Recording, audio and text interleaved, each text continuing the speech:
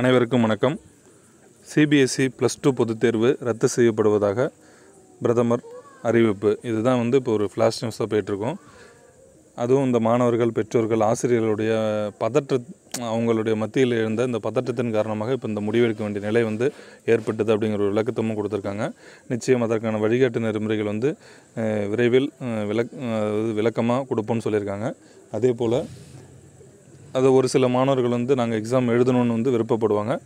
விருப்பம் உள்ள மாணவர்களுக்கு சூழலுக்கு ஏற்ப வாய்ப்பு வழங்கப்படும். ஏன்னா அப்போ வந்து எப்படி சுச்சுவேஷன் இருக்கோ அதற்கேற்றபோல் அவங்களுக்கு வந்து வாய்ப்பு வழங்கப்படும் அப்படிங்கிற ஒரு அடிஷ்னல் தகவலும் நம்மளுக்கு கொடுத்துருக்காங்க. இப்போ நாளைக்கு வந்து நம்ம தமிழ்நாட்டில் ஸ்டேட் போர்டில் வந்து நம்ம வந்து ப்ளஸ் டூ பொதுத் தேர்வு வந்து எப்படி வைக்கலாம் அப்படிங்கிறத வந்து ஒரு ஆலோசனை கூட்டம் வந்து நடைபெறதா இருந்தது.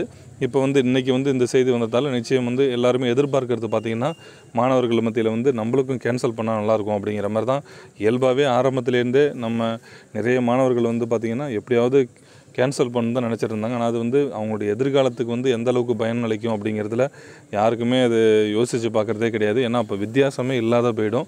நிச்சயம் நம்ம பள்ளிக்கல்வித்துறை அமைச்சரை பொறுத்த வரைக்கும் தேர்வு தான் நடத்தணும் அப்படிங்கிறதுல உறுதியாக இருக்காங்க. ஆனால் அதே சமயம் மாணவர்களுடைய பாதுகாப்பு மிக மிக முக்கியம்.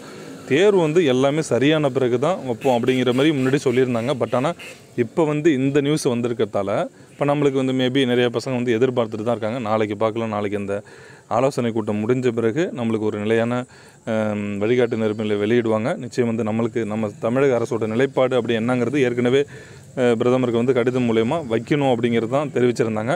பார்க்கலாம் நாளைக்கு என்ன செய்தி வருதுங்கிறத நிச்சயம் எல்லாருமே எதிர்பார்த்துட்ருக்கோம்.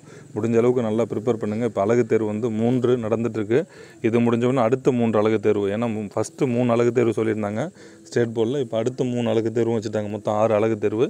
அதனால் அது நல்லபடியாக எழுதுங்க. அனைவருக்கும் நன்றி.